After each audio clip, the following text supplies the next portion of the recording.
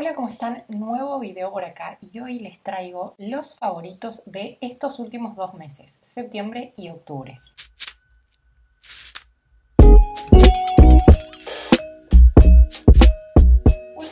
Estuve haciendo como una selección de top 5 favoritos por IGTV, pero esta vez como tengo muchos, muchos productos para compartirles, decidí traerles este video que sé que tanto les gusta por acá. Y por cierto, como son muchas, muchas cosas, lo voy a dividir en dos, así que vamos a arrancar ahora por make-up y algunas otras cositas. Y sin mucho más, comencemos. Lo primero que tengo para compartirles que estuve usando mucho este último tiempo, sobre todo este último mes porque no lo tengo hace tanto, y es el Antelios Mineral One de La Roche-Posay. Mi color es el más clarito, es el 01. Es un protector solar con color. En realidad la marca lo llama crema de día con color y tiene factor solar de amplio espectro 50. Este es un protector solar físico, ¿sí? es un protector solar mineral, entonces las pieles que por ahí son un poco más, más sensibles a los filtros químicos, quizás les funcione mejor este tipo de protectores solares, ¿sí? los protectores solares minerales. Igualmente, como siempre les digo y nuevamente recordándoles, es importante que siempre consulten con su dermatólogo o cosmetóloga para que les asesore mejor y de manera personalizada según su caso. Este en realidad sería un producto de cuidado facial, que sería para el otro video que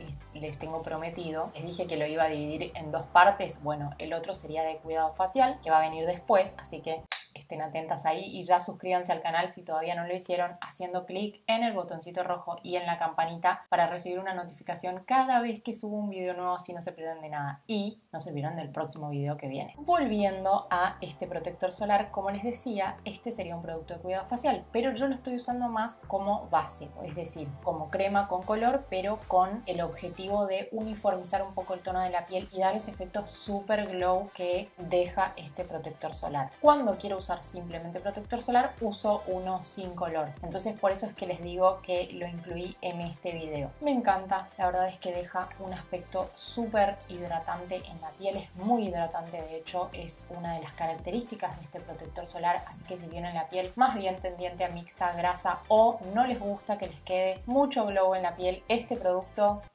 no les va a gustar, escápenle porque, porque es súper súper hidratante. De hecho, cuesta que se fije, cuesta mucho que se asiente, no llega a sentarse del todo. Yo todavía es como que toco un poquito, se siente el producto en las manos, transfiere, ¿sí? Así que para esta época que está llegando de temperaturas un poco más altas, probablemente yo tampoco lo elija. Pero hasta ahora me estuvo encantando, de hecho hice una reseña un poco más... Eh, listo un poco más exhaustiva en Stories. Quedó guardado en destacadas, así que si no me siguen por allá también, les recomiendo que me vayan a seguir porque se están perdiendo un montón de contenido. Bueno, sin más, me encanta, este color es perfecto para mí, así que es un golazo creo para invierno o para pieles más secas, incluso para pieles maduras también. Siguiente producto que me copa mucho para iluminar sobre todo la zona de las ojeras o el centro del rostro es el corrector Stay All Day 16 horas de Essence, que es un corrector súper ligero, livianito, no tiene una cobertura muy alta, pero yo no lo uso para corregir como les digo, sino más bien para iluminar, uso un corrector neutralizador por debajo y después voy con este por encima para iluminar y me encanta, se funde súper bien con la piel, es un producto re económico, así que creo que eso también está buenísimo, la marca en general es una marca de productos económicos y este si bien dice long lasting, no sé si es tan long lasting como promete, no dura tanto, pero es hidratante y súper ligero y es por eso que yo lo elijo para iluminar. Me copa mucho, aplico como les digo en las ojeras o en la zona T, difumino y después sello con un polvo.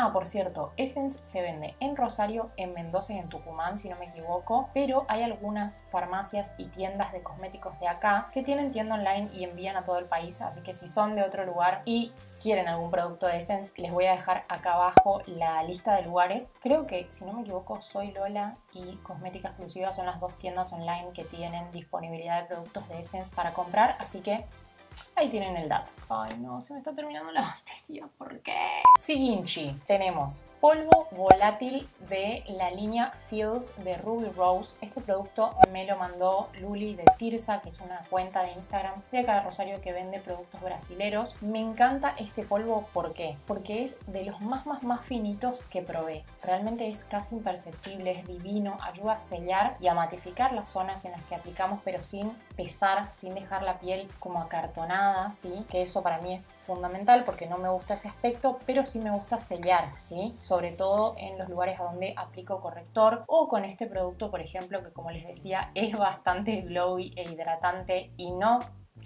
no se fija muy bien y transfiere, entonces prefiero siempre sellarlo con un poquito de polvo. Este es translúcido, es realmente muy finito, es genial para, para, sellar manteniendo esa naturalidad de la piel, así que es otro de mis favoritos también. Este es en el color 01. Vamos ahora a un bronzer y esta es una recomendación de ustedes, es el Back to Bronze de L'Oreal que yo cuando hice el video de cómo armar un neceser de farmacia con productos low cost que si no los vieron que si no lo vieron incluso se los voy a dejar acá linkeado en las tarjetas les había comentado que no había probado ningún bronzer de farmacia que me gustara que realmente lo considerara un favorito, así que por eso no incluía ninguno. Y ustedes me recomendaron este que es el Back to Bronze de L'Oreal y la verdad es que me re gustó. Es un producto que si bien es pigmentado tiende a ser un poco más sutil y se puede ir como construyendo eh, intensidad y cobertura, ¿sí? No es un producto que de una apliques y te vaya a quedar una mancha marrón, que eso me parece que es muy positivo y está buenísimo si están comenzando a aplicar este tipo de productos porque pueden aventurarse sin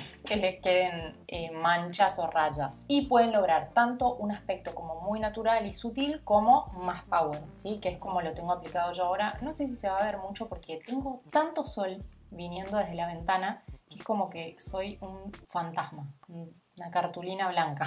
Pero les juro que tengo bastante aplicado. De hecho, de este lado que tengo menos luz, creo que se puede ver mejor. Una de las cosas que más me gusta de este producto, creo, es que no es polvoso. Entonces te permite justamente eso, ir aplicando con diferente intensidad y logrando diferentes efectos. Mi color es el 02 Sun Kiss, que es perfecto, así que no tengo nada más para decir de esta belleza. Low cost, amamos. Ah, lo único que sí le voy a criticar es el packaging que al toque se me rompió. Es como medio pobretón el packaging, pero bueno, no le podemos pedir todo. Siguiente producto que estoy amando es el Glow Play Blush en el tono Blush Please de MAC, que es un rubor cremoso. Les diría que es mate, porque no tiene partículas de brillo, ¿sí? No, no es mate, mentira. Es como medio satinado, porque tiene como ese glow, justamente como promete. Realmente queda divino puesto. Es el que tengo puesto ahora también. Es un tono neutro, un rosita que va bien para cualquier ocasión, para cualquier maquillaje y creo que eso es lo que hace que me guste tanto. Creo que es un golazo este producto tanto para uso personal como para maletín, así que si son maquilladoras creo que esto les va a encantar también, sobre todo para producciones o editorial, ¿sí? Obviamente que al ser un producto cremoso no va a durar todo el día, ¿sí? Pero tiene una duración bastante buena, es algo que a mí me sorprendió bastante de hecho, la otra vez que estaba testeando un poco su duración, que después de varias horas seguía ahí y como les digo, para ser un producto cremoso eso me sorprendió, es muy fácil de fundir, tiene una textura como cremosa,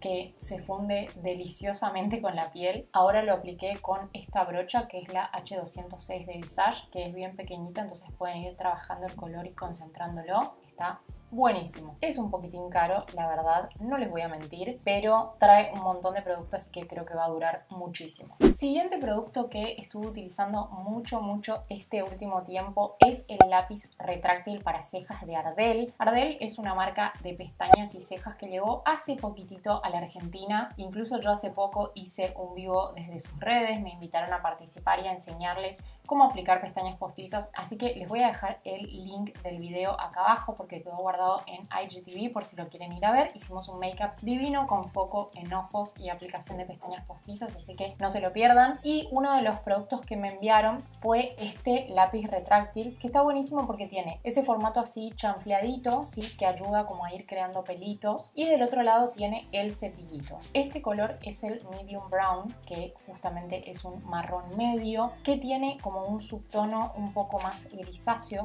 Eso creo que también está buenísimo porque hace que quede bien bien natural la aplicación y que se funda con el color natural de las cejas. Así que para mí este lapicito también está siendo otro favorito. La textura de este retráctil es como un poco más seca, no es súper cremoso y pigmentado. Entonces eso también hace que sea más fácil la aplicación del producto en las cejas sin que quede muy marcado. Por eso este otro está siendo mi favorito también. Después tenemos como un 2 en 1 porque es un combo de máscara de pestañas que estoy usando un montón, sobre todo desde hace un mes, que es más o menos desde que tengo la Secret de Natura. Esta la tengo hace un poquito más, así que la vengo usando desde antes. Esta es la Absolute Volume de Lucy Anderson, que es una máscara que da bastante volumen, tiene un cepillito como un poco más power, sí, bien, bien gordito, que ayuda a dejar las pestañas con bastante volumen y eso me copa bastante. Si es usada sola puede llegar a manchar, ¿sí? Porque no llega como a fijarse tanto, tanto en, las pestañas. Pero si la uso en conjunto con esta, son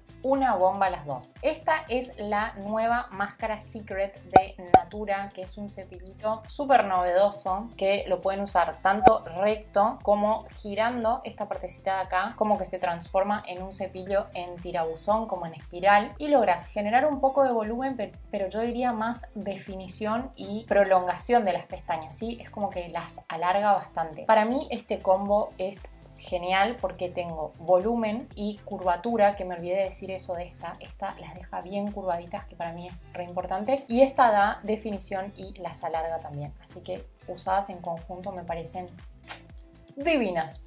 Siguiente producto que empecé a probar hace más o menos dos meses es el Superstay 3D Plumping Top Coat de Maybelline. Es de la línea 3D, ¿sí? que es eh, como efecto gel. Y la verdad es que está buenísimo porque es un top coat bien finito que creo que prolonga un poco la duración del esmalte y también lo deja bien bien brilloso. Y si por ahí no les quedó tan tan prolijo el esmaltado, después cuando le pasan una capita de top coat por encima es como que se disimula y queda genial. De este lo que me gustó es que es bastante ligera la fórmula, el pincelito es bien ancho, entonces casi que se puede cubrir en dos pasadas toda la uña y además no creo que sea un producto muy caro, ¿sí? porque es de la línea de Maybelline, no sé cuánto debe estar, pero no debe ser muy caro y me parece una buena opción de top coat económico. Y por último tenemos una fragancia, esta es la Miss Dior Rose and Roses, que es un eau de toilette, es como la más ligera y suave de las eh, intensidades de perfume, queda como mucho más fresco y suavecito. A mí realmente me encanta. Me parece una delicia. Este perfume me llegó hace muy poquito de la gente de Dior en un press kit con un neceser divino y la verdad es que desde ahí no lo paro de usar. Me sorprendió porque ese mismo día me lo apliqué y me duró muchas horas, algo que no es muy usual en los eau de toilette, ¿sí? es más común en los eau de parfum, que también son más intensos y duraderos. Así que de este me asombró bastante su duración y lo rico, rico, rico que es. Me sorprendió. Yo no, no sé si lo hubiese probado en otra situación y menos mal que me lo mandaron porque ahora se tornó uno de mis favoritos. Y cuando se los mostré por stories también, muchas de ustedes me, me dijeron que les encanta, que son fanas de la línea Miss Dior. Así que sé que no soy la única. Bueno, y eso fue todo. Espero que les haya gustado este nuevo video de favoritos. No se olviden de dejar su like si les gusta este tipo de videos y contarme en los comentarios si probaron alguno de estos productos y qué experiencia tuvieron. Les mando un besote enorme y nos vemos en el próximo video. Chau, chau.